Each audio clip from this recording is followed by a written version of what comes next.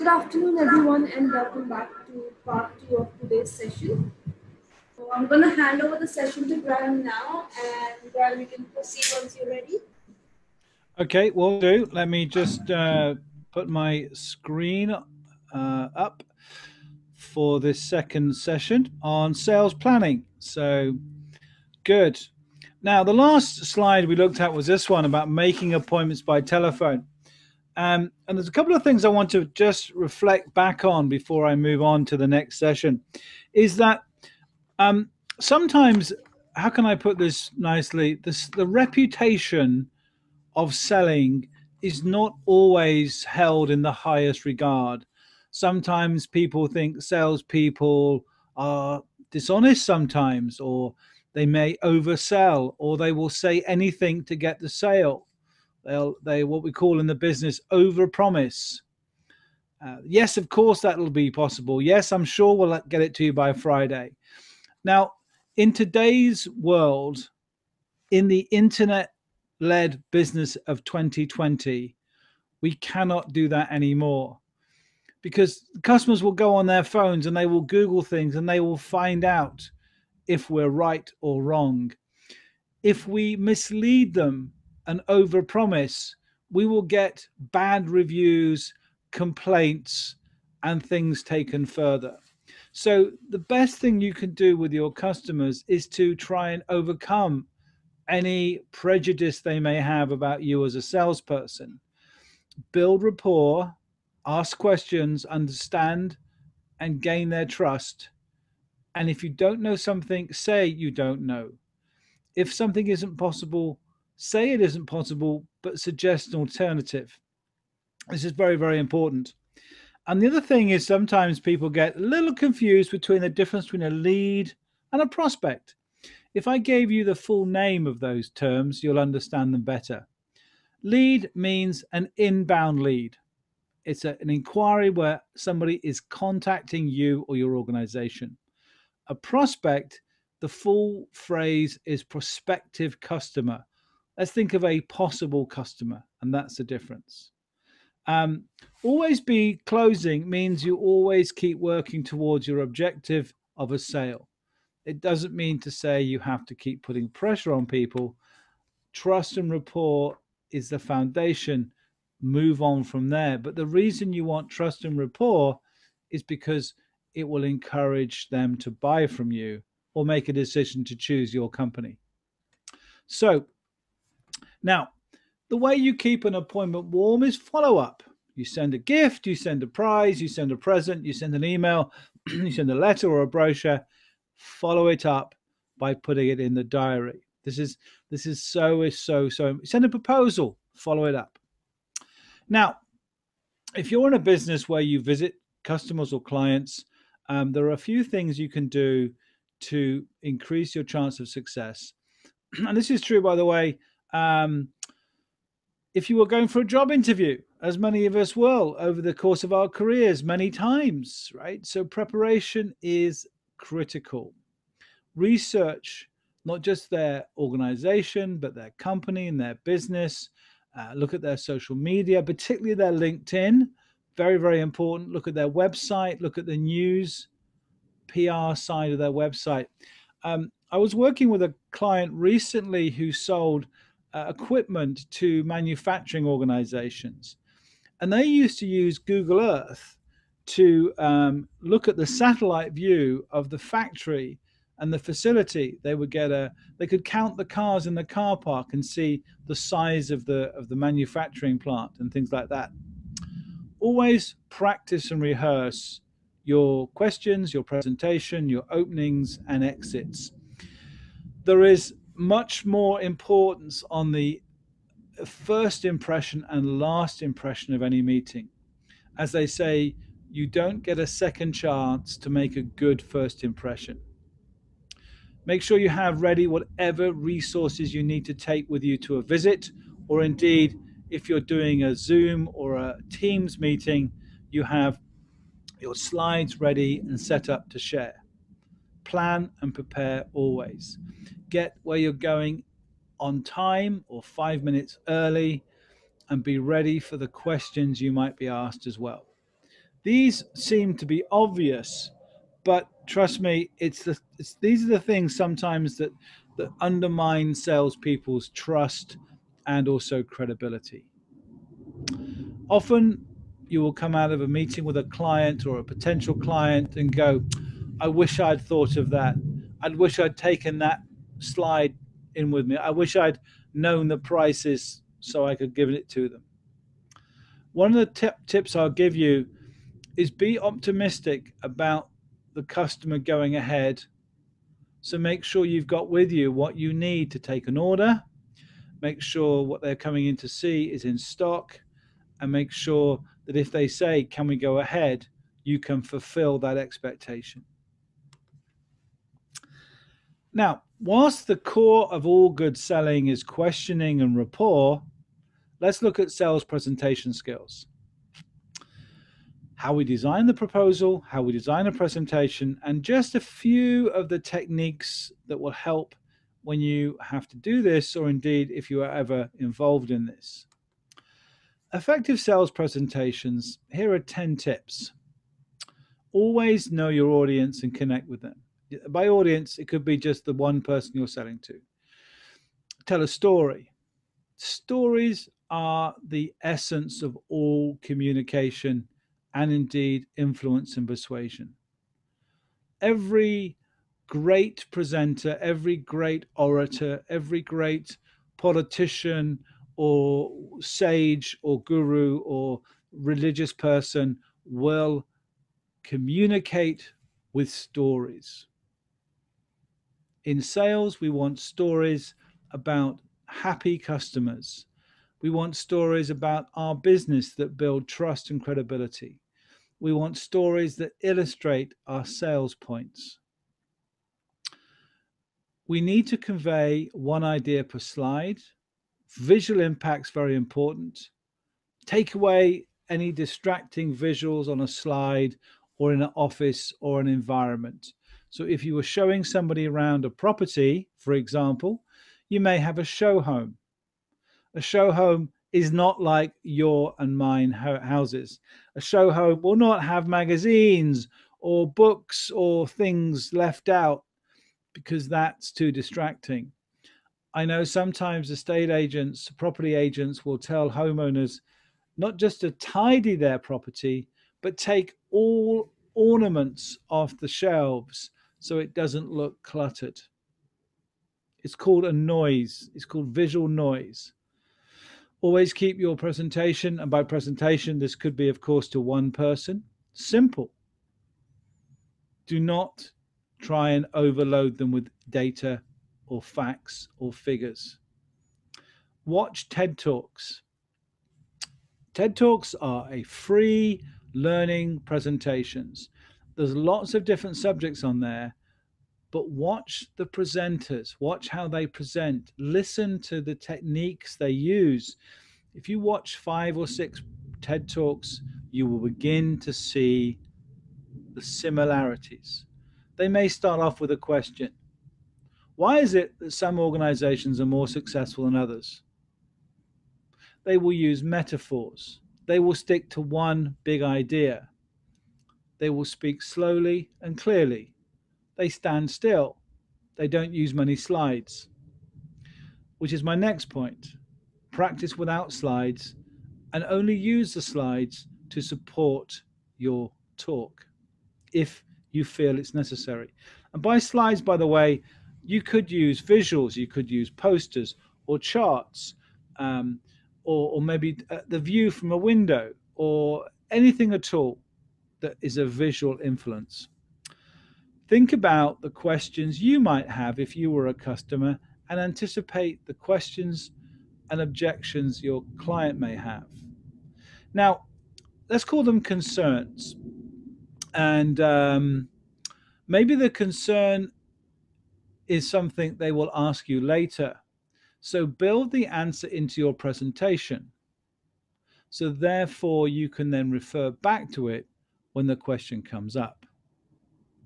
So, for example, if they uh, you're doing your exhibition sale and the customer says, or the prospective customer asks, may ask you, um, what other publicity will you be doing to promote the event to make sure you have lots of visitors? We'll include that information in your presentation so that when they ask, you can say, well, as I said in my presentation, we are running a television advertising campaign plus newspapers and email marketing to drive visitors to the exhibition. Finally, any short or even long presentation should have a clear action following it, the next step. Follow these tips and your sales presentations, even just talks to one person, will be more effective. Focus on your audience, but also focus on yourself. Think about what your audience needs, wants, and is relevant to them. Only talk about the features, the benefits, the things that concern them or most likely concern them. If you are um, presenting in person, how you're dressed, your, your grooming, your um, whole ambience, your whole look is important. The materials you use, your tailoring, by the way, is not about your clothing.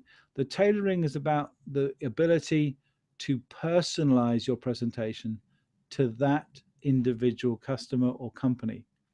Even just putting their name or logo on a slide deck or referring to their business or their location or their products, using their name and telling stories that build credibility and sell through implication. Very, very important. Just take a very simple example. You work in a car showroom.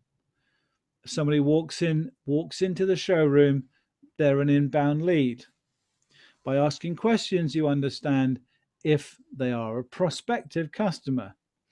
You ask them what they're looking for. You ask them what's most important. You ask them why they're looking to change a car, what they would want in a future vehicle, what's most important to them, and so on. And from that, you would then go and show them a brochure or maybe a vehicle and take them for a test drive. Everything about that process needs to be impressive. It needs to be impressive. You see, when it comes to presenting information, everything counts. Everything counts. It's either moving a prospect towards buying from you or moving you away. So you come to do a test drive, but you can't find the key, or there's dirty marks on the car, or the, there's no brochure. All of these things don't work. If the person said that fuel economy was important to them, don't tell them about how comfortable the seats are. Talk about the fuel economy. This is, this is absolutely key. You've got to demonstrate that you've listened to your client. Try and implement this rule of three when you're using, when you're talking in a sales context. Make it compelling with a structure, a beginning, a middle, and an end. Very often we use the Aristotle triptych technique, which is known as the three T's. It's like they do on the television news. You tell them what you're going to tell them, you tell them, and you tell them what you've told them. You give them an agenda, you then go through the agenda, and then you summarize at the end. Always keep it simple. Keep it short and simple. Keep it super simple. Allow them to ask questions, which is also important. And keep the audience engaged. Move it forward and use language that is simple and compelling to understand. We've mentioned this already the AIDA technique attention or awareness, interest, desire, and action. It's a very, very simple model, but it's very well proven. Always try and structure information about that. Now, in a sales situation, attention is how is it relevant to me? Interest is about features or facts or functions. Desire is about benefits. In action is what the next step is or to how to find out more information.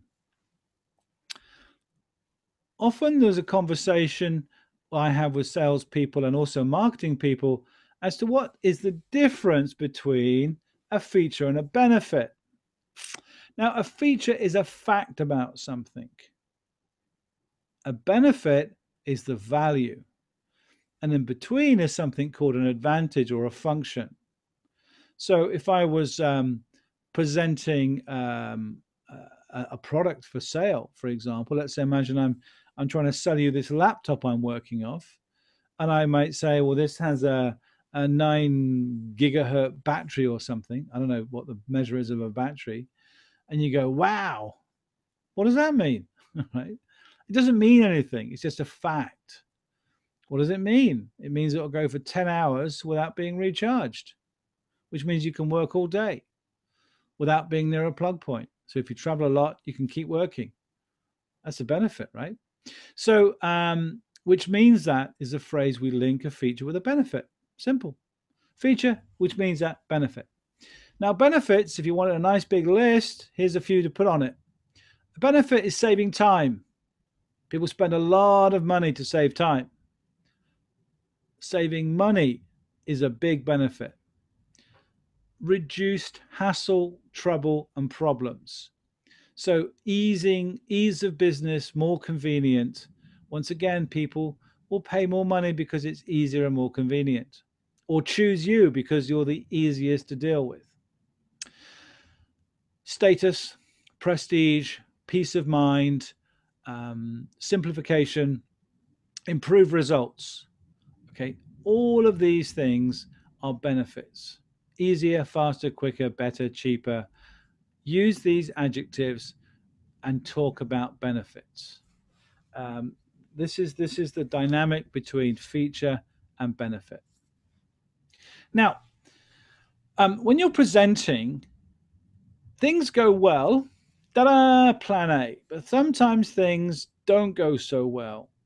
So have a plan B. You're doing a nice big presentation and you suddenly realize the four or five people on the client side are looking rather bored and fed up. Plan B, stop the presentation, go to questions, right? Um, you turn up to do a presentation or the client turns up to see the property and they say we've only got 10 minutes not the half an hour we thought we had. So plan b is let's do a quick tour and then talk to them about their buying situation and, and what they think of it right? So plan a plan b. Making a sale is more important than sticking to your plan. Very very important. How do you excel at a presentation?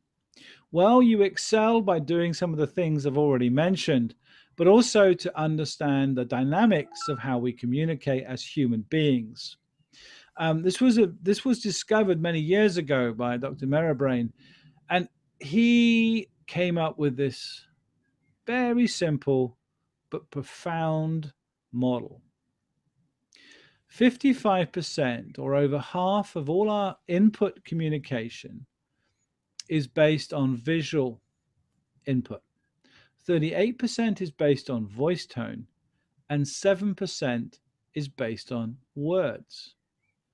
So that's what we say, how we say it, and then the look on our face or our body language as we say it. So I'm going to come back to the body language in a moment because to be honest, we could do a whole day on body language. It's that it's that important. But let's go back to the words if I said, um, "Oh, this is this is an excellent opportunity to present your company at a major exhibition," does that really sound exciting? This is a major opportunity to present your company at an exciting exhibition. It's not working for me, right? So it's voice tone. This is a major opportunity to present your company at this exciting exhibition. Okay, now it's sounding better right? Now it's sounding better. So we always believe the voice tone four times more than the words, right? So make sure you emphasize the keywords, you put enthusiasm, confidence, and empathy into the sentences you use when you're talking to customers. This means making more modulation, more up and down. The word you emphasize creates the meaning. The customer asks you for a proposal so they can present it to their manager tomorrow. You say, Sure, I can get that over to you today before five o'clock. That doesn't sound great, does it? Sure, I can get that over to you today before five o'clock. Now I sound committed and I sound keen. Now, of course, you don't want to overdo this because you just sound sound crazy. But let's come back to the body language. Well, in body language, we tend to keep it relatively calm in business, certainly. Unlike, say, children in a school playground who are just crazy, right? We've learned as adults to control our body language. But there are certain aspects of our body language we cannot control, and they're called micro behaviors. They're to do with things like eye movement, pupil dilation, skin tension, coloration, slight differences in our breathing rate or our posture.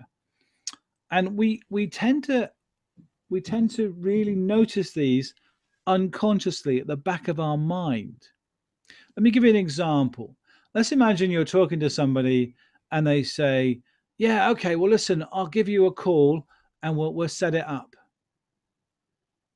And there's something about the way they say it that you makes you think they're not going to call me, right?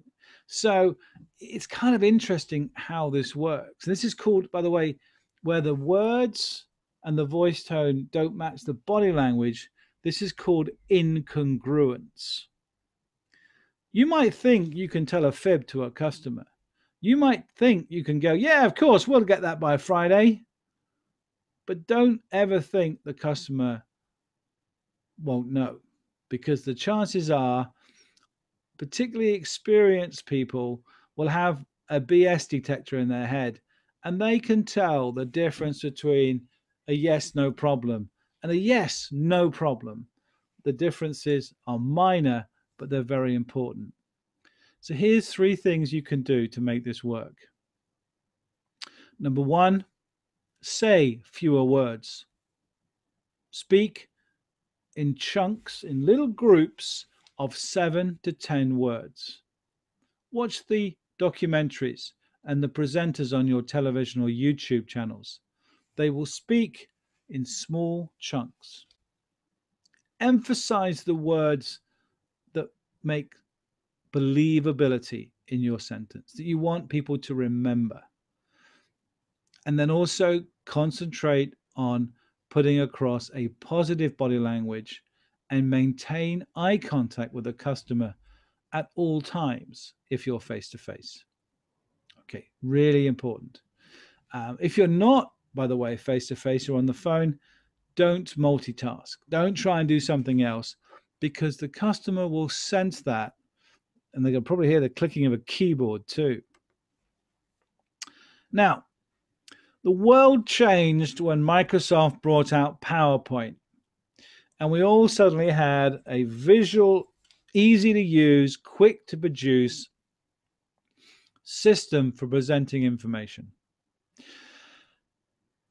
PowerPoint is no longer a novelty. There are even better systems now. You can make short videos, you can make cartoons, you can make those hand drawing things, but it's still a go to tool for sales presentations. So, here are some concepts we're going to go through. How to use PowerPoint or how to deliver good product demonstrations, how to use presentations in a meeting, how to use it in terms of customer needs and linking the presentation to the customer's requirements, and how to use it to facilitate discussion, questions, and plan those questions. So let's go through a few of these points. Now, a demo presentation to a customer or group of customers, or even showing them around, let's say, going back to my property sales example, if you were going to show somebody around a home or an office or a facility facility that you were selling or renting, you need to be prepared. You need to have a flow, a plan, and a structure. Very simple. A real estate agent will start off probably at the front door, okay? And they will work their way through the ground floor and they'll go upstairs and they work their way through the, the top rooms and they come back down. Now, what's difficult about that? But what they would do is they would plan what they call focus points. So let's imagine you go into the lounge, and the lounge has got a very impressive fireplace. So they walk over and they stand by the fireplace and they talk to the prospect there about the room and the features and the window and so on. Then they go into the kitchen, and maybe the kitchen has a really lovely view. So they stand by the window. This time the customer can look out of the window and they say, The nice thing about this room is the fantastic view. And they stop talking and allow the customer to look at the view. And they go upstairs in one of the bedrooms. It has an amazing closet with fitted wardrobes. Guess what? That's what they spend time showing them. And then they come back down to the, what they call the hot spot.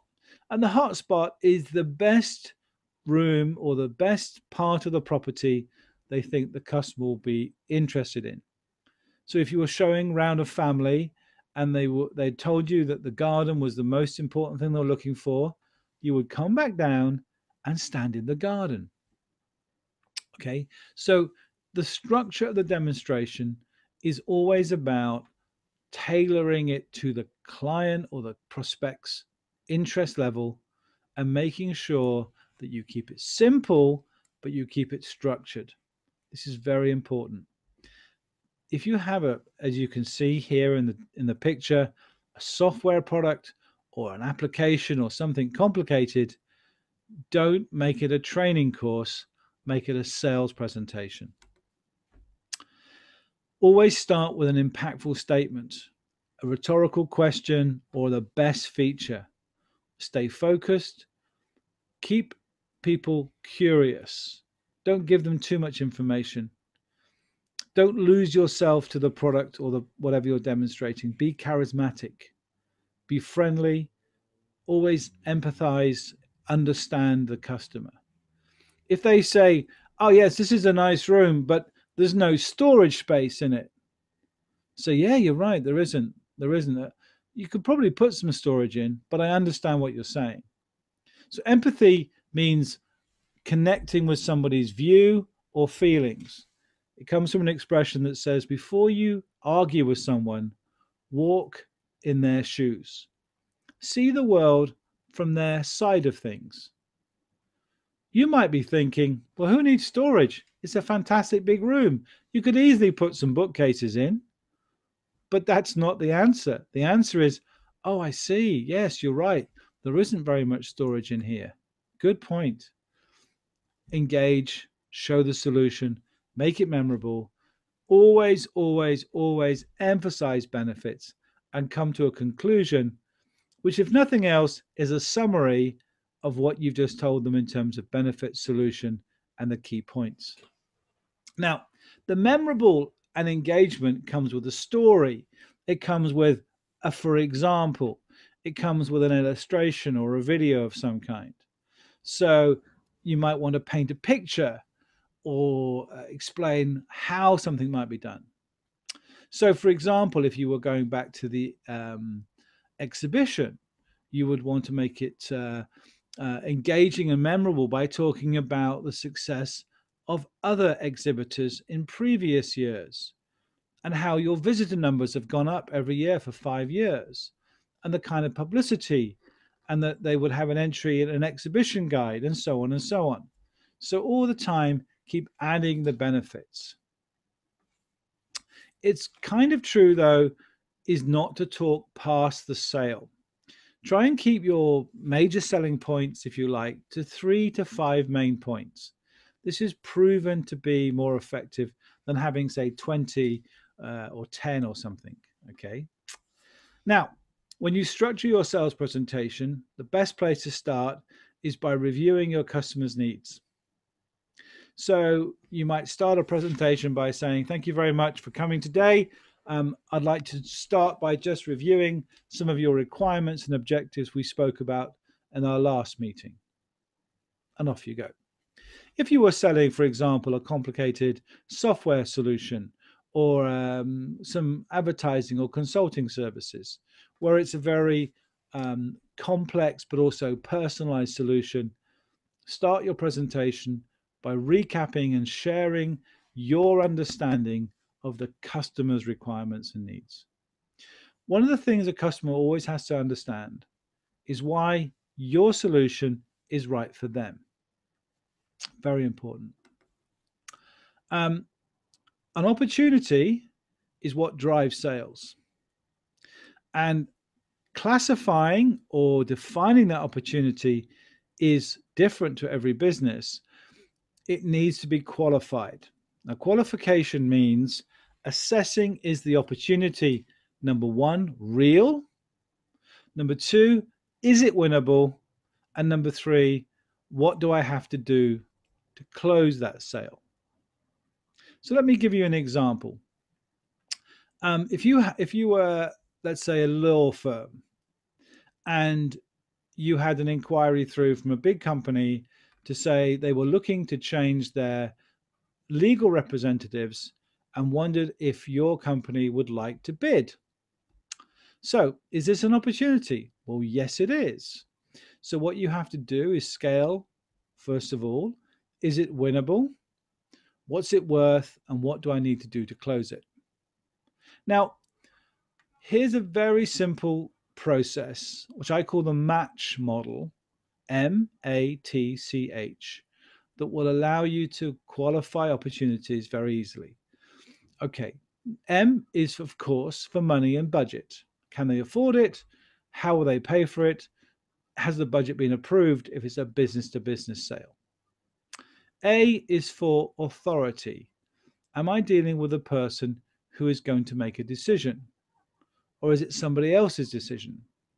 Now, in a business to business sale, there's normally two or three people who are consulted or involved. So the question would be apart from yourself, who else will be looking at this solution? Timescales when are they looking for installation, not decision? When would you looking, be looking to move in? When would you be looking to purchase this? Competition and alternatives is the C. What other cars, what other properties, what else have you seen so far? And H is for hot button. Now, a hot button is something that if you keep pressing, if you keep focusing on, if you keep mentioning, the customer will respond more. And the question is apart from price, what's most important to you in choosing a property, a car, a handbag, a mobile phone, a camera, etc., etc. So we know price is always a consideration. People have a budget in their mind. They don't want to spend more or less than a certain level. So apart from that, what are two or three things that's most important for you? And they may say it must have this, it must have this, and I would like it to have this. Now, this is going to tell you what you have to focus on or deliver to gain the sale. Okay, so so this is this is how qualification works. Now, another piece of jargon. You're gonna have so much jargon after this session. Pain point. So we've got prospecting, we've got opportunity, we've got lead, we've got cold call, we've got warm call. Now, this is like a pain point, right? So a pain point is a problem that a customer wants to have solved. It's the it's the it's the the difficulty, it's the pain, it's the um, challenge that means they need a solution, right? So if somebody inquired about exhibiting at your exhibition, it's only because they have a problem. The problem is they need more leads. They need a way of raising the profile of their business to certain customer base. They need to find a way of demonstrating their, their market positioning. They need to connect with existing customers. Um, they need to be seen to be doing more in their market. Maybe the marketing department need to do more activities to support the sales team. An exhibition would be a good one. So, solution to a problem is a great way to present your product or solution and ask customers what problems would my product solve. Okay, so take the pain away is an important part of any sales motivation. value proposition or value prop, as we call it in sales. What's your value prop? Now, this is a short sentence known as an impact statement or an elevator pitch that explains the value of what you do, right? Um, so let me give you an example. If you were a real estate agent and a company contacted you to sell, or an individual contacted you to sell their property for them, they may contact several estate agents or several real estate agents, and they're going to say, Why would I choose your business? Why would I choose you? Right. And you would have to be able to explain how you're better, better value, or have more credentials than other businesses of a similar type. This is your value proposition. And realistically, you've got about 30 seconds to do this, right? 30 to 60 seconds. This is the science. This is absolute the science. So you might say, um, as a real estate agent, we've been working this area for 15 years. We've sold some of the best and the uh, some of the best properties in this area.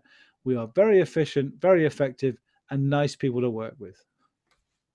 Now, um, is that a good value proposition? Well, it's a good starting point. It's about making sure that you differentiate differentiate yourself, but also explain what you're good at. A nice way of starting a value proposition is with a phrase, we specialize in, or I specialize in, and I help organizations too. And remember the benefit statements before save money, save time, efficiency, uh, more convenience, status, those kind of things. All right, so that's the value proposition model. Value prop. You need to have your value prop really well defined. Now, how to ask questions is an essential part of the sales model. Uh, let me just show you this. This is a this is a book by a guy called Neil Rackham. It's called Spin Selling. It's in your notes. It's probably it's a few years old now, but it's still one of the definitive books on the subject of selling. Um, Neil Rackham was, uh, and, I, have worked with him. I have to say, he's, he's an interesting guy. Uh, he's a trainer and he uh, consultant, and he was asked by IBM to improve their sales model. This is going back uh, 30 years now, and he went out with some of the best IBM account managers and salespeople, and he decided to study their approach, write it down, and teach it to everybody else so they could be as effective. And this was a time when 20% of the sales team made 80% of the sales.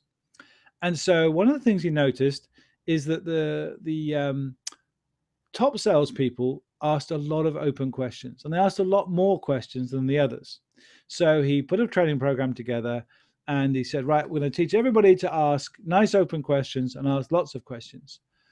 And and sure enough, these people that were trained went away and they asked more open questions and they asked lots more questions, but they were no more successful. So Neil had obviously failed to find the golden key to unlock sales potential. So he went back again and he modeled the salespeople and he found they asked the questions in a particular sequence, which is the word spin. He asked they asked questions about the customer situation. They ask questions about the problems, the implication of those problems, and the need payoff, what, what is also known as value. Now, this is a very good way of structuring a question. So, what do you do now, currently, in this situation? How do you promote your business, etc., etc.? What challenges do you find? What results do you get? How well does that work? What would you like to change or improve? These are the problems. You, you may not find that asking them what problems they have actually gets the right answer. How effective, how confident are you this is working well are much better questions. Then, with the implication, you do a what if. So, what if you were able to? What would be the advantage? if we could save you 16 15% of the cost of your current advertising What would you do with that saving? How would that be of benefit? This is a need payoff. Situation, problem, implication, need payoff. If I could, how would that benefit you? So this is a really powerful structure for selling. Okay. So let's take the homeowner and they contact you and they say, We're looking for a property in this area. Can you help us? And you say, Yes, I can. Tell me what sort of house you have now. Where are you living? What do you, you know, where do you live? What do you like about it? What do you dislike about it? What would you like to change or improve? And what kind of problems does that cause you, either now or in the future? So then tell me what you're looking for ideally. That's the need payoff. And then that's your model that you would then use to recommend the right property to them. And in that process of asking questions, of course, it would take longer than I just demonstrated. You would build rapport, you'd build empathy, and you'd build credibility. You would give the client the feeling that you care, right? And, and there's the thought, right? If you if you're going into sales, um, the customer does not care how much you know until they know how much you care. If they sense you have the customer's best interest at heart, they will work with you and trust you, right? Now, here are some criteria for a good question. It should be short. I mean, we're talking 10 to 15 words. We don't want long explanation questions. It should be easy to understand but difficult to answer. That is thought provoking. It needs to be unambiguous, so it's not confusing in terms of the person doesn't really understand what you're asking. It needs to be relevant to the sales process or contact. By the way, don't ask questions you can find out the answer to somewhere else because you're wasting your customer's time. So if you're visiting a company and you say, you know, what is it your company does or how many employees do you have, forget it. You can find that out. You should have looked that up. And the customer is going to think you're an idiot. Well, at least not very prepared. Make sure it's related to the objectives that the client has. It's very clear and easy to understand. I say it slowly, be direct, make it comprehensive. Don't use jargon, common vocabulary. Do not use jargon. I have won, I can't tell you how many, but I've won a significant number of sales when I was working in the IT and software areas of industry by simply not using jargon. I didn't put up pictures of fluffy things and talk about clouds and this net and that net and, and protocol speeds and X25 this and X25 that. I just used everyday language and that built people's trust and make sure it's directed at the right person if you're working in a group of people okay? So make sure that you're you're ticking the boxes with all of these thoughts. Ask the right questions listen carefully and don't talk too much. So opening questions open questions are what where when how? Definitely good questions. They tend to get factual information Probing questions, I always remember it by using the TED acronym. Tell me, explain or give me an example, or describe in more detail. Tell me, explain, describe. TED. Very, very easy. Good probing questions. Or just simply go, okay, that's a good point. What else? And just pause and say, oh, that's interesting. And let them keep talking. Let them keep talking.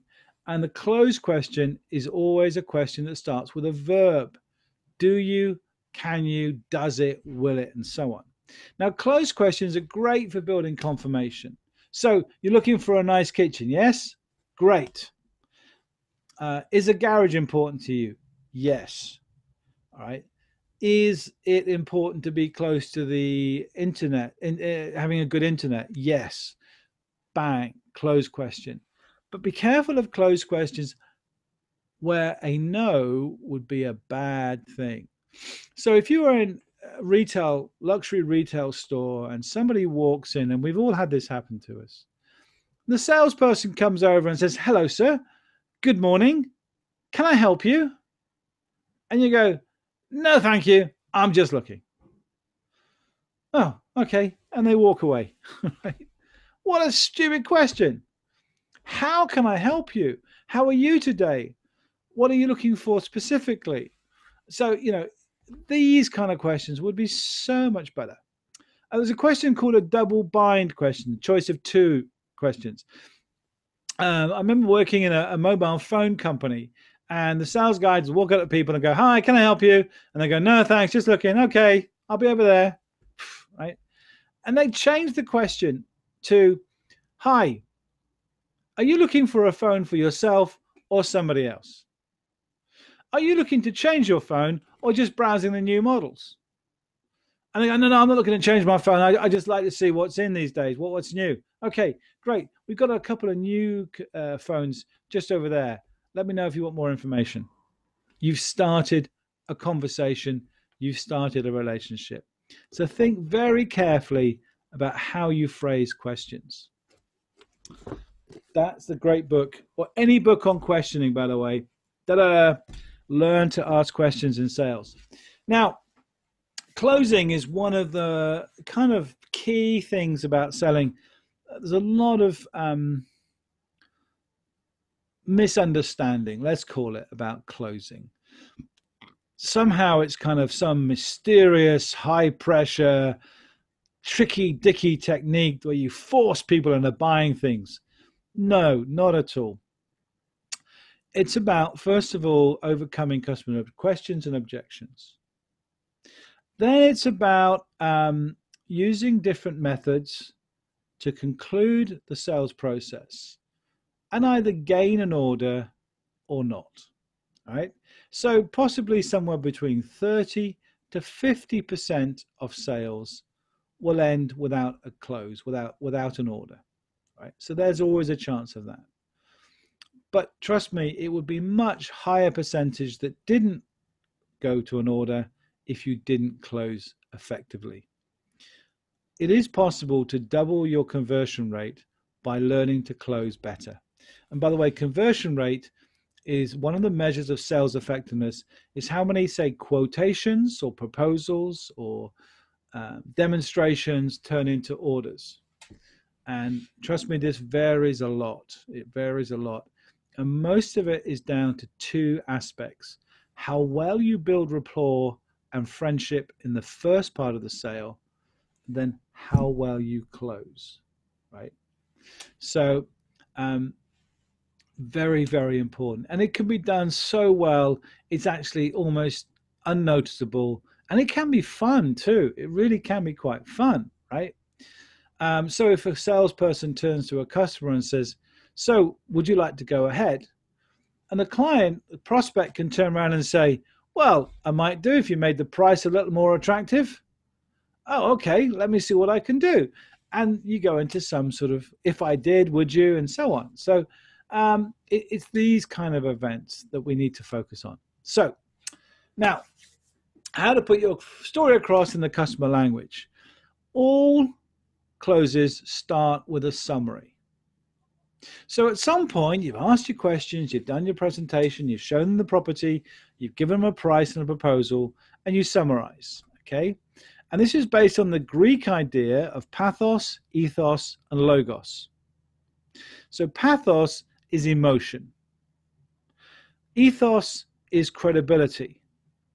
And this tends to be uh, about proof and ethics and, and status. And then logos is logic, which tends to be facts and figures.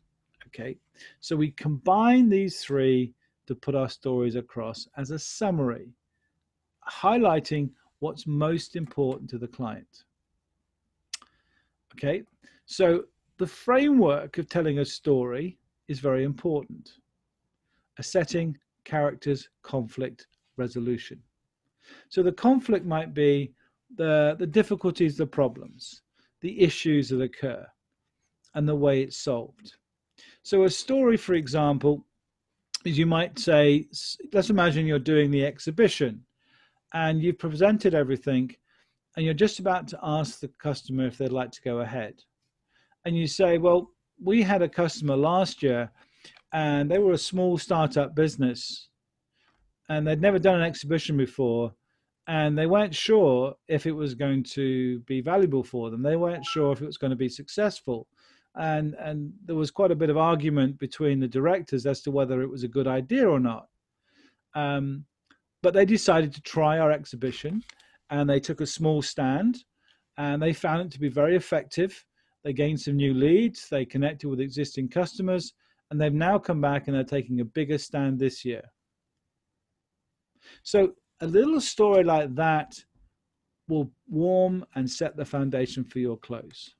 All right.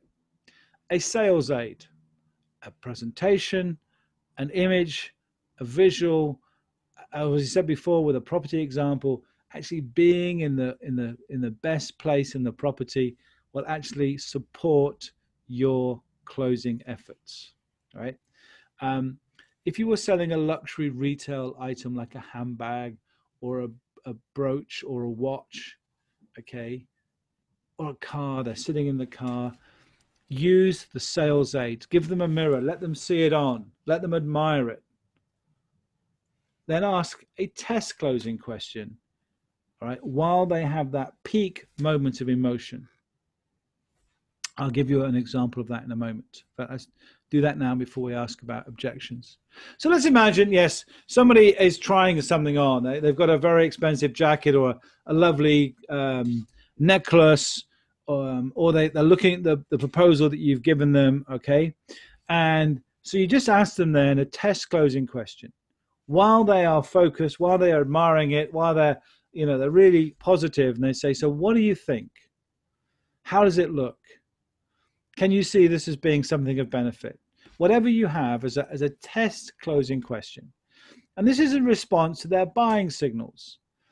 Um, a buying signal is a question about something, uh, particularly if it's a, it's a, a when, not if.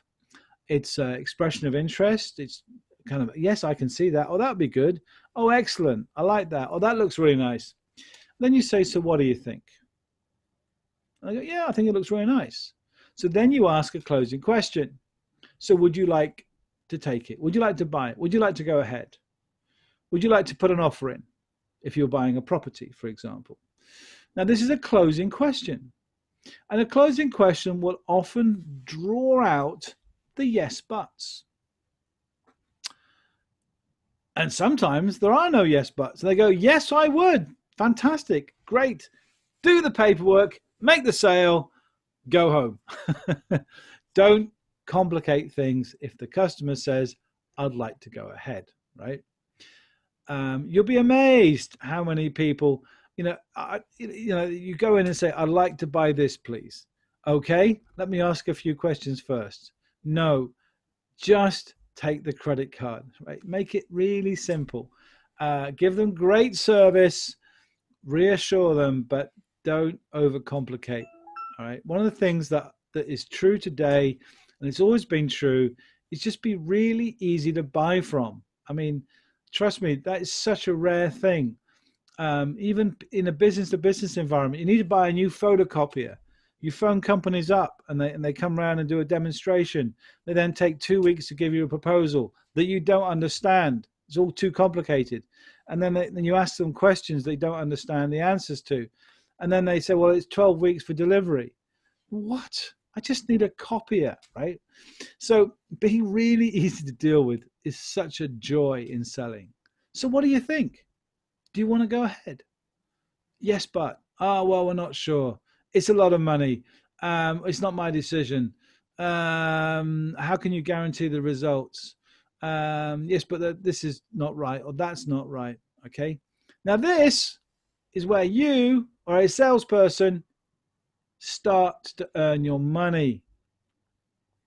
This is where you show what you're good at, right? Um, if you think about it in a way, there could be two kinds of salespeople there's order takers and there's closers, right?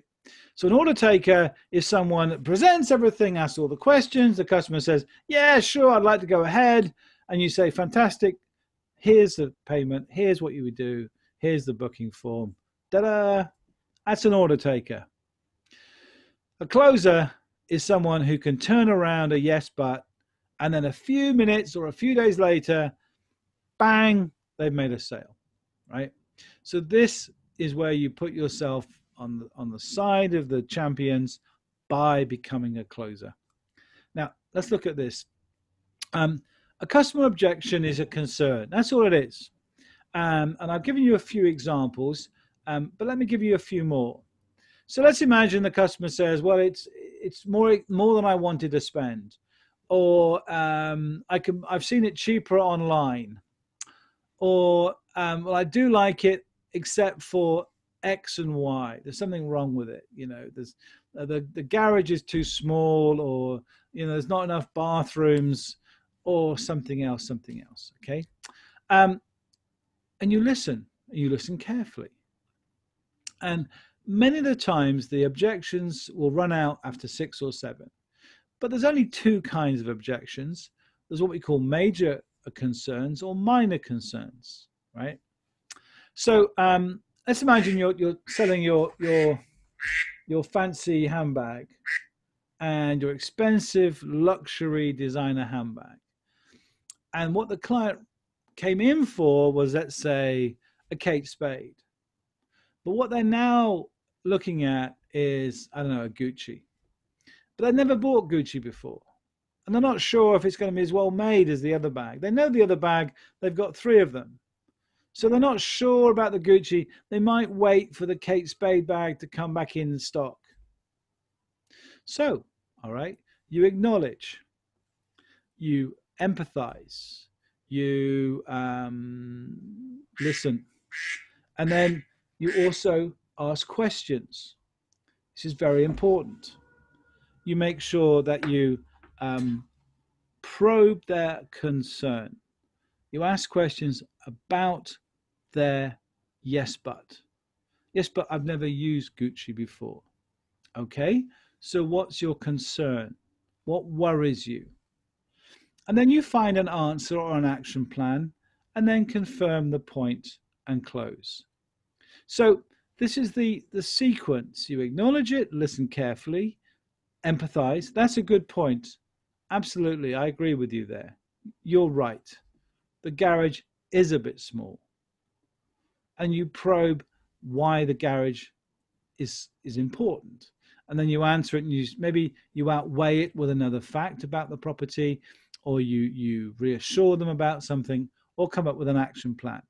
And these, by the way, you would have thought of and you would have prepared for as part of your planning, your training, and your preparation for the sales meeting.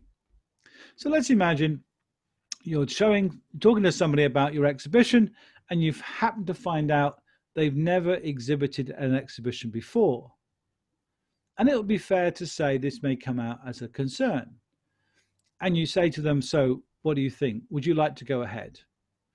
And they say, Well, to be honest, we've never done an exhibition before. We're not sure if they're any good. And you say, Okay, yeah, I can understand that.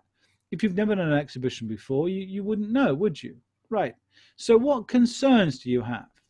And they say, Well, is it going to produce any leads? Is it going to give us a, a visitor database? And you answer that question, confirm it, and then say, Do you have any other questions or concerns?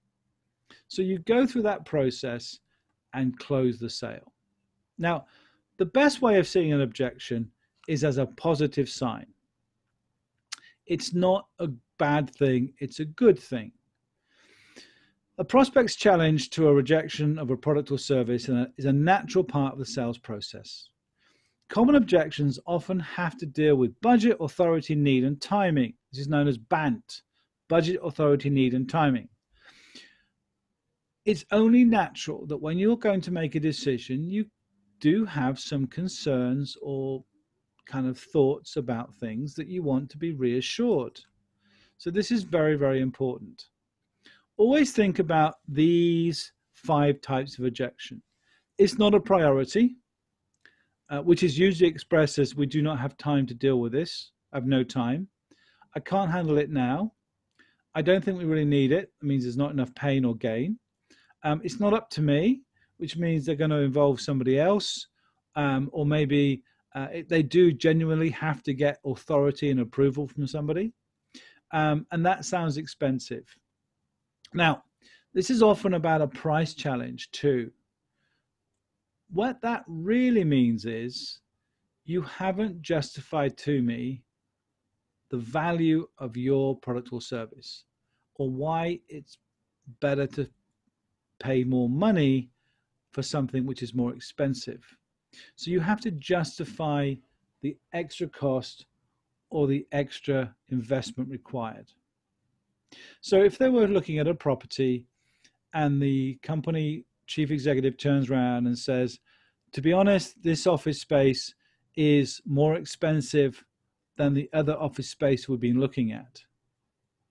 That means you haven't really explained the extra value or benefits of that office location. Maybe the prestigious address. Um, it's quicker to get to from their home. Uh, it has better facilities. Uh, the rateable value might be lower. Um, you'll be able to attract and retain staff more because it's in a better part of the the corporate district, and so on and so on. So you have to think of a set of scales, and at one end you have price, and the other end you have product features or benefits, and you have to put more product features and benefits to outweigh up and down. Okay, so the one they say yes, it's expensive. Yes, but um, you cannot overcome every concern or objection. But interestingly, you don't have to because people will still go ahead, even to say, well, I don't like this or I don't like that, or you can't guarantee it. And this is one of the reasons why you shouldn't overpromise. And you say, well, no, I can't guarantee that you'll get leads. I can't guarantee visitor numbers. And they say, okay, well, we'll do it anyway. Right. So, so this is this is the important thing. So just to recap, to prepare for objections, always listen carefully, acknowledge and empathize. That's a good point. One of the things that I, I found a really useful phrase at this part of the sales process is to say, I'm glad you asked that question. All right. And this encourages the customer, by the way, to talk even more about some of their concerns. Ask questions about it and then respond with either an answer or an, out, an outweighing statement, maybe an action plan. Now, another technique, and there's a few of these that's useful to turn around an objection, is known as the three F's feel, felt, found. I understand how you feel. Other customers have felt the same way, but what they found is. So let's talk about the example of the exhibition stand. And you're talking to a company and there's two or three people in the meeting and they kind of get the benefit of the exhibition and some of the managers are very keen to do it but the chief executive turns around and says well to be honest with you these exhibitions are a lot of work and we're busy enough as it is i'm not sure we've got the time to do this properly now you could use the three F's on that objection because it's a minor objection. Well, I understand how you feel, Mr. Chief Executive. In fact, to be honest, many other customers have felt the same. If they've never done an exhibition before, it may seem like a lot of work and organization. But what they found is most of the work is done way in advance, and the actual few days on the stand are not that difficult when you run a rota or a shift system and we can help you with that.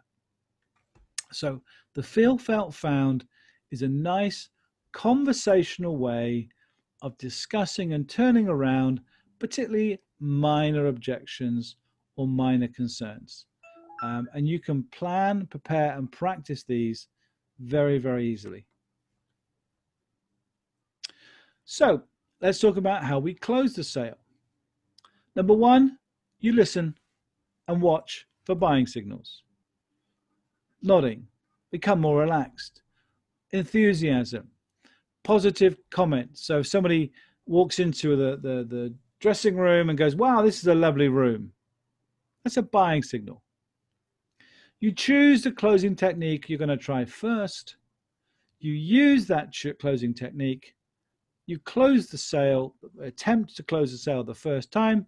You deal with any objections and you keep quiet while the customer thinks about it. Let me give you a very simple example that many real estate agents are taught as part of their sales training. They tour the couple or the family or the business around the premises or the property and they show them around. And as they go around, they point out the features and the benefits and the hot spots, the nice view and the and the cupboards and the kitchen and so on. And all the time they're looking and listening for the buying signals. And they get them back down into the into the kitchen or maybe somewhere to, to make a discussion, and they choose what they think is the best closing technique or question to ask. And maybe the question is a direct one. Okay, so if you like the property, why don't you put an offer in? Invitational close. And they might then say, yes, I think we'd like to, or but not quite sure about, and you get the final objection. But whenever you ask a closing question, it's really important to keep quiet. Don't speak until the customer does. Very often, a technique is to let the customer be on their own.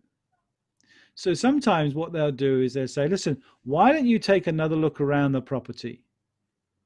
I'm going to stay down here. You walk around, take as long as you need.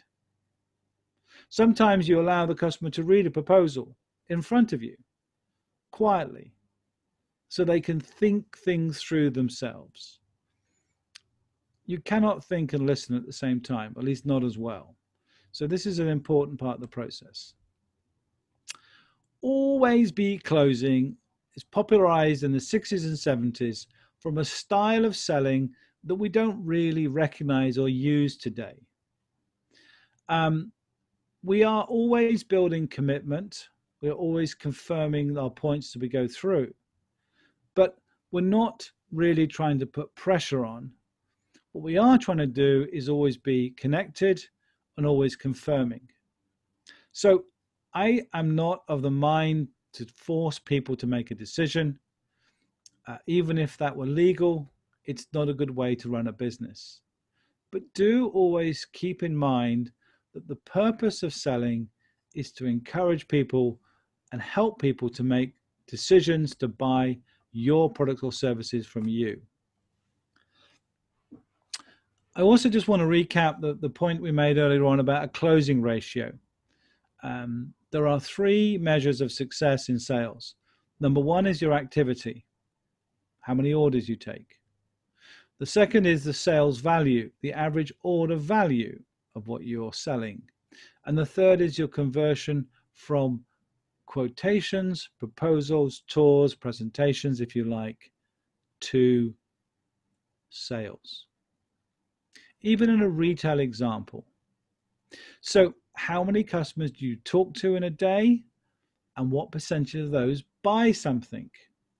And what is the average ticket price of that purchase? And this is by the way all trackable these days. Um, so closing ratio is a very important statistic.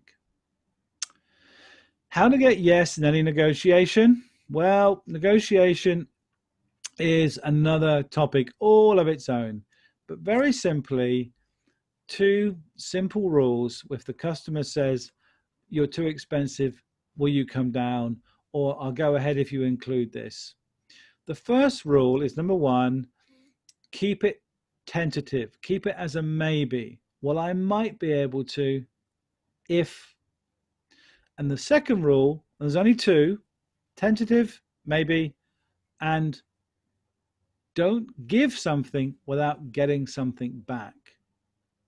Well, I might be able to include this. I might be able to give you a discount if you went ahead this week, this month, today.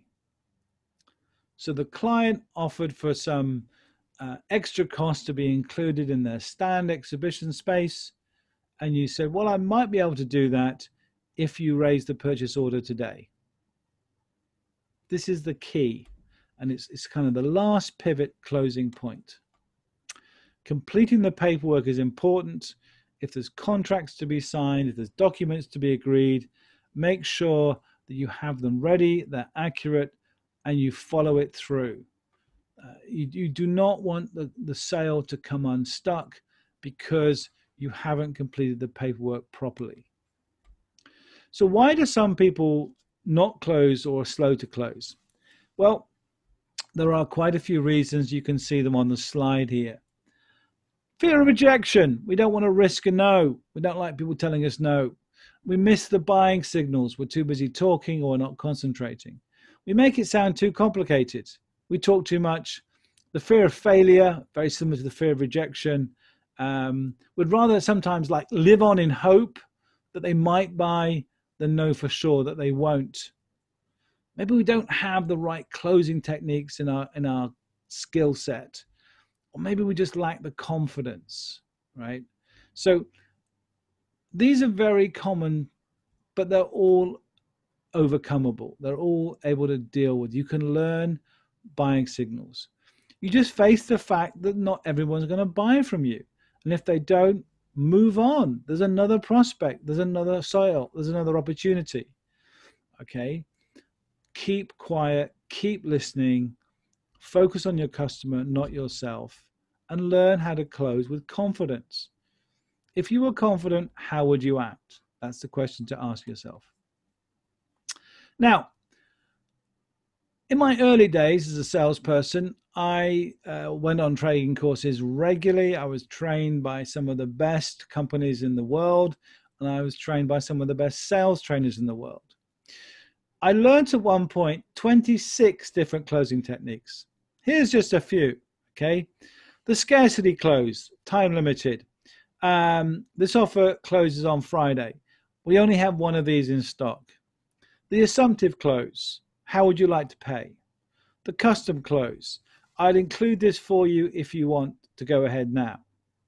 The question close. Um, if you have no further questions, why don't we get this sorted out? The bonus close. If you go ahead today, I'll include this.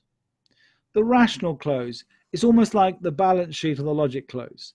So, can you think of any reason not to go ahead? Opportunity cost close. This would be what you lose if you don't go ahead the trial close is um, would you like to give it a try? Sometimes known as a puppy dog close. The balance sheet close is you summarize the pluses and minuses, and of course, the pluses will outweigh the minuses. And the artisan close is where you make up something very unique, where it's very personalized, where it's like a one off bespoke package, and, and therefore they have that ownership of it. My favorite is not on that list, which is the alternative choice close. Would you prefer A or B? Would you like this model or that model? Would you like it with or without? And this approach is very similar to the question we talked about before the double bind, the alternative choice. It's a classic close and it's very customer friendly. There it is, there, the alternative choice close. All right. Whichever one they choose, you make a sale. That's the nice thing about the alternative choice close. A minor point close is what color would you like your car to be? So, in summary, the, the examples I've used today are about selling advertising in exhibition space. I've talked about the property sales for a homeowner or a business, and I've given you a few for instances to do with luxury retail sales the fact is, is that, is that at the core, selling principles are very much the same, whether you're selling advertising or recruitment or cars or engineering or anything at all. At the core of it is the sales process, which means you have to find your prospects, you have to connect and build rapport, you have to understand and develop the themes of their requirements, their needs, their requirements, and preferences through structured, intelligent questions. You present your solution as a match to their requirements or preferences. You overcome or answer their questions and concerns. You encourage them to make a decision. And then you complete the transition into the role of customer. And that in essence, is the sales process. So, in a moment, I'm just going to hand back to Anisha um, and answer a few of your questions. Um, I would like to remind you, though, that the end of the slide set is a quiz, a recall quiz. I would like you to take time to answer, and we will review the answers tomorrow morning. But before we finish, we've just got 15 minutes left. So let me stop my screen share and uh, ask Anisha if she would be so kind as to pick out a few of the questions that we think are, are representative of, of all the questions. I think there's over 70 questions now we've got coming through uh, from this morning as well. So, um, yeah. Any questions yes. there, Anisha, that caught your eye? Yeah, I have picked out a couple of questions for you. So the first question, this one came in as anonymous question. And the question is, how can the statement customer is always right help when the customer is being extremely rude? Okay, um, the customer's always right. Well, when they're extremely rude yeah. and also extremely wrong. Well, the fact is, um, the customer is always the customer. And unfortunately, we can't always choose to deal only with nice, polite people. We sometimes have to deal with arrogant people who get things wrong. Um, but if you start to disagree with a customer or prove them wrong, the rapport will be broken. I remember once I was I was buying a car, and this and I, I said to the sales guy, I said, I understand this car has, I think it was like six gears. He said, No, no, no, this one only got five gears. I said, Really? I I thought I read in the brochure it had six gears. No, no, no, you're wrong there. It had five gears. Okay. I found another garage, right? Always be respectful of the person move on in the conversation. If they say something which is wrong, okay, let I'll come back to that and you go on to something else. I think with the arrogance, people don't really understand people who are arrogant or are rude may not really understand how they appear to others. They just do what they think is normal and natural. Um, one of the most important things that you learn very, very quickly in sales, like in customer service, is never take anything personally. Okay, because it's not about you. It's it's about them, the mood they're in, their personality, uh, you know, just just something else that's annoyed them in, in the world. So just don't take things personally. But you know, they've still got money, they've got a need, you've got a product, make a sale uh, revenge is a good is a good quality against uh, rude people. Um, but do try and if they're arrogant or defensive, try and build that rapport with them. Try and focus on getting them on side. Uh, being nice to them, getting them a drink, uh, listening to their stories, um, all of those things, uh, very very important. Um, by the way, if you if you have a lot of product knowledge, that will help with difficult customers because they will be impressed by your knowledge and credibility. Um, good question. I'm not sure there's an easy answer for that one, but I hope I, I gave you some ideas there. You um, certainly did, Graham. Yeah. yeah. So, yeah, uh, shall I give you the next question? Yes, an- another question, please. Yeah. So, this one is from Gahit Nadreen. Uh, the question is How am I supposed to sell a product or a service that I'm not convinced about? Wow, that's a that's a good question, right? Um, I'm going to answer that in two ways. Number one is there is no such thing as a perfect product or service. Every product or service has some positives and some negatives. Okay, um, but it's not for you to judge; it's for the customer to judge. So let's imagine I, I mean I, I work in a mobile phone shop, right? And I've got 20 different phones uh, and this is a this is I know an, an, iPhone, right? An iPhone, and I happen to think the iPhone is not as good as a Samsung, and it's two hundred dollars more expensive. Why would you buy an iPhone when you got a Samsung? It's cheaper and it's a better phone. But that's not my decision, right? If a customer says I'm looking to buy a phone, I say, well, there's two or three models that are very popular today. One is the Samsung, one is the iPhone, and they pick up the iPhone and they go, yeah, this is fantastic. Take the order. The customer makes a decision based on their preferences and choices. Um, having said that, you don't want to mislead the customer. if you if you want to give them a choice, give them a choice, but point out the down and the upsides of each of the choices. Um, honestly, but factually. Try not to express an opinion, but state the facts. So you could say, well, the Samsung has the same quality of screen, has a high resolution camera, and longer battery life. These are all facts, they're not opinions.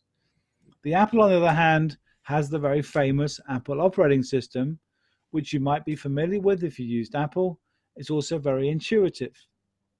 These are facts, right? So the customer then makes a choice. So um, if you don't believe in your product or service, the first sale you have to make is to yourself. You have to see it as somebody else might see it and why they would buy it. Uh, and this, this is very, very important. Um, empathy is the ability to see things through the customer's eyes. Ambition is the is the is the drive to make a sale. Empathy and ambition combined make it right. I mean, you can you can sell yourself on anything, um, any car, any handbag, any property. Uh, you think, why would someone buy that? But somebody does, and someone's happy with it. So, um, and it's not your choice. Your choice is to represent a product or service honestly and fairly, and help the customer make a decision. All right. That may be a wrong decision, but that's the customer's decision. All right. So I, I wouldn't I wouldn't worry too much about that try and focus on the positive benefits, the positive selling points of your product, and not worry about the negatives, as long as, of course, you're not selling something fake or illegal, right? So, um, you know, there's here's a here's an example, right? Um, sometimes in properties, they uh, they have the furniture in show homes of properties. They have the furniture made smaller to make the room look bigger. Okay, which is which is a bit of a trick, right? And uh, I know retail property agents have said uh, they think that's a bit sneaky. That's a bit sneaky. But on the other hand, the brochure has the room sizes in. So, yeah. Um, if you really feel, if you really feel that you cannot sell that product or service, move to a company where you do believe in the product or service. Um, it's so much easier if you're enthusiastic about what you sell. I mean, really enthusiastic. So um, I like that question. Um, and I'm sure that we could spend more time talking, and I'm sure some of you would have some thoughts on this too. Um, I think we've got time for just one or two more questions, Anisha. Sure. So here's another question for you. I noticed uh, multiple people asked this question. Yeah. Uh, yeah. So, what is the difference between the wants and the needs of the market, and what, in your opinion, is more important? Okay. Um, I would say the, the wants are always more important. And these are the aspirations, okay? And the needs are the base level, right? So, for example, and the, and the wants always change. The wants are changing because of fashion or because of competitors or, or, or, or, changes in the way customers use, use the phone. So, for example, let's take mobile phones. Um, I need a smartphone. I cannot live my life without a smartphone but I want one that's got um, good video on it and that's got a good camera on it because that's now much of what I use my phone for is watching videos and taking cameras and taking videos uh, for for podcasts and so on. I need a phone that's going to last long time with those functions being used. Um, this is now a want. Any smartphone in the store will satisfy my needs but they won't satisfy my aspirations. Okay. Um, and th- this is the thing is, and I, I would put in the category of wants, preferences, and and and if you like, um, desires. So what would I like ideally, and what are my requirements? What's my specification? What style am I looking for? Focus on understanding customers' preferences, not their base requirements. Good question, though. Um, one more question, please, um, Anisha. Let's see what we've got. Sure, yeah. Um, okay, so this question came in from Hussein Alal Sheikh Jafar. And the question is which is a more preferred way of probing by asking a closed ended question or by asking an open ended question? Okay, good point. The best way of probing is to ask open questions. Closed questions are about confirming information or asking for a decision. Open questions always start with who, where, what, why, when, and how. Um, as Rudyard Kipling said in a famous poem, six wise men that taught me all I knew were who, why, where, what, and who. So, why is that important? What are you looking for? When were you looking to go ahead? Um, remember the middle category of questions I spoke of as well, which are the TED questions. Can you tell me a bit more about that? Can you describe in detail? Can you explain exactly what you mean by that? Can you give me some examples, okay, of what else you're doing in this area. Um, but it, it's it's really important. And by the way, when you're asking these questions, you're you're getting the client to think, and their ideas are shaping. You're also coming across as someone who's concerned and interested in them. And this, by the way, is the cornerstone of charisma. Charisma is about making the other person feel important. And you do that by asking open questions, probing questions, and reflecting back on the answers. That's a good point. Oh, I'm glad you raised that. And now, one more thing I'd think about questions is to link them together. Try not to introduce too many jumps in the conversation. So, if somebody says something, you ask a question about what they've just said before moving on. Okay, that's good. All right. Um, well, I think I'm just looking at the time here, Anisha. One more quick question, uh, and then we'll let these good people go back to their to their day, if we like. Sure. Yeah. Uh, so I'll uh, give you another question. Let me see what I have here. Okay, so I have a question from Mohammed Usman, and he yeah. wants to know what, in your opinion, is better: more sales and less margin or less sales but more margin? Good question. More sales, less margin, more margin, less sales. Um, okay. In any product group, in any company, you have a mix of products and services. The Boston Matrix talks about cash cows and rising stars. Um, it all depends on two things how your sales targets are measured and how your commission is paid if you're paid on commission. If you're paid on commission on sales, then focus on sales and do not worry about margin. If your commission is based on the margin contribution of each sale, then focus on the products and services and the markets and the prospects where you make the most margin. So, for example, you could have um, two handbags. One is twice the price of the other but on one handbag, you make more margin. Sell more of those. A good salesman, by the way, can switch sell. It's called switch selling. So you can choose or influence which product or service the client will end up buying, right? So as a business, if I was a owner of a business, I want my salespeople to make profitable sales. So I want them to sell products that have a good profit margin. Now, salespeople tend to do what they um, are rewarded for. So I would need to um, change the compensation or commission to fit what I want them to sell more of. In this case, profit. So to come back to your answer, depends on what your focus is and what your commission is. But as a business owner, I would definitely look at focusing on margin and not sales a lot of the time you can sell and be losing money. So, so focus on that.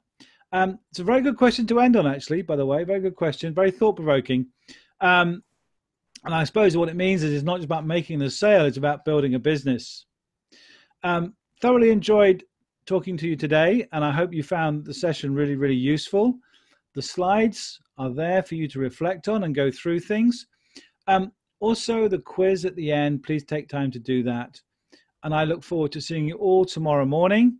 Uh, where we're looking at a new subject uh, one I think you'll find very interesting, which is all about strategic management, a very different topic. So let me hand back to you, Anisha, and we'll just close the session off. Sure, yeah. Thank you, Graham, for taking us through another interesting session.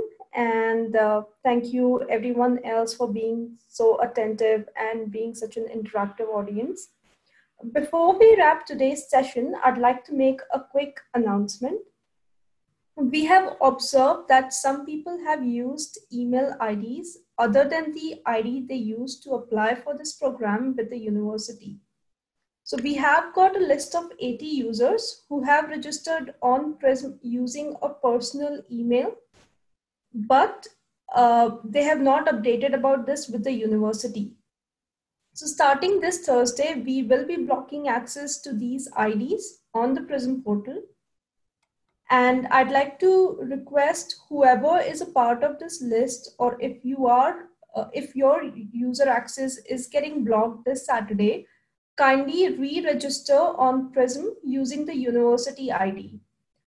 Uh, we will ensure to transfer your credits from your previous account to your new account, so you need not worry about that. Please note this is an important piece of information and failing to do so will result in no transfer of credits plus no certification for any courses. So guys, if your account gets deactivated this Thursday, please re-register using your university ID and we will transfer your credits of your previous course to your new account. And as mentioned, don't forget to log into Prism and take the recall quiz for today's session. We will upload the recording of today's session on Prism at 7 p.m. and it will be available until 10 a.m. in the morning tomorrow. Hope everyone enjoyed today's lesson and I will see you guys tomorrow at 11 in the morning for another interesting session on business skills. Goodbye everyone and have a lovely day.